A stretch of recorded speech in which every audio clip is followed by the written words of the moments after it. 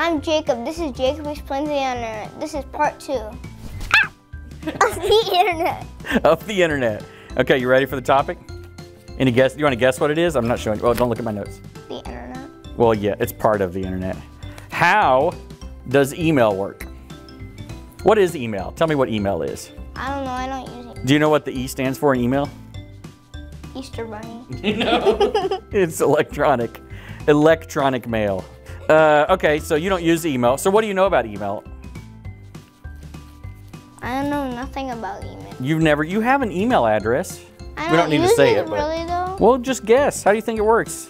I don't know. Mail. You mail E. You mail E. How does normal mail work? You mail something at someone's house. To someone's house? Yeah. But how does it get there? Truck. What kind of, what, a truck? A mail truck. A mail truck? Or if they're far enough away? What else do you think use, delivers it over longer distances if they're far enough away? Planes. So, uh, what do you think's different about email? How do you think email works? The same thing. The same thing, just in chords? But there's the a lot of- So, email is like writing a letter, but you do it on a computer and you never like print it out or anything, right? How dare you? And then when you click send, instead of going to someone else's house, where do you think it goes?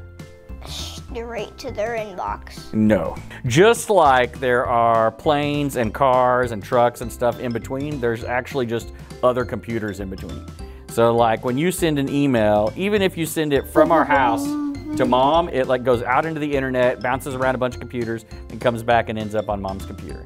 But there's a bunch of computers in between because the internet, It's as it turns internet. out, is made up of computers.